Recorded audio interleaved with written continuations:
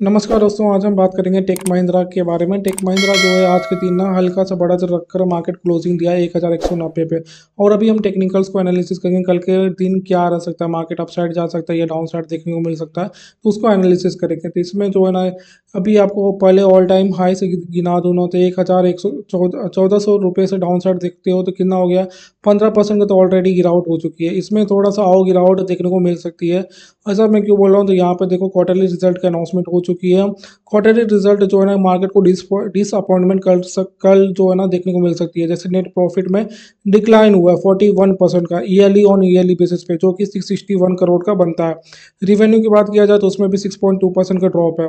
तो net profit main चीज़ होती है जो कि फोर्टी वन परसेंट का एक तरह से डिक्लाइन है। ये बहुत ही ख़राब इम्पैक्ट कल के दिन देखने को मिल सकता है। इसके साथ इतना कुछ अच्छा चीज़ भी है, वो है डिविडेंट डिविडेंट की अनाउंसमेंट हुई है जो कि अट्ठाईस रुपये का डिविडेंट है। ये बहुत ही अच्छा रहा देखने के लिए। अभी आते हैं हम टेक्निकल्स को। इसका प्रभाव जो है ना 41 परसेंट गिरावट हुई है। एक एग्जांपल की बात करूँ तो एल टी आई माइंट्री का ले लेते हैं। ये भी आईटी सेक्टर से जुड़ी हुई कंपनी है। इसमें देखो, इनका नेट प्रॉफिट कितना था तो 1.2 परसेंट का डिक्लाइन था नेट प्रॉफिट में। और मार्केट आज कितना गिरा है?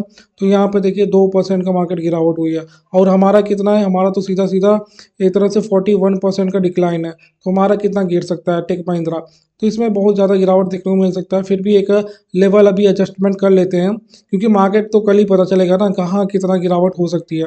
तो यहाँ पे देखिए एक सपोर्ट एरिया पर ऑलरेडी मार्केट ना ट्रेड कर रहा है, जो कि मार्केट क्लोज हुआ है। ये आपको दिख रहा है, ये पूरा सपोर्ट एरिया यहाँ पे एक सपोर्ट बनाया और ये एक सपोर्ट एरिया ही है।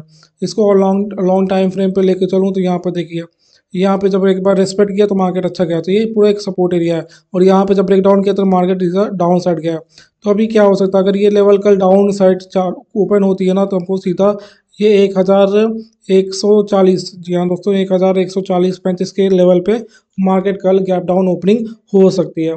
फिर यहाँ से अगर मूवमेंट अच्छा बनाता है, कल बाइंग होने लगती है। जैसे क्या ना, एक तरह से डाउन जब गैप ओप गैप डाउन ओपनिंग होती है तो कई लोग खरीदने लगते हैं।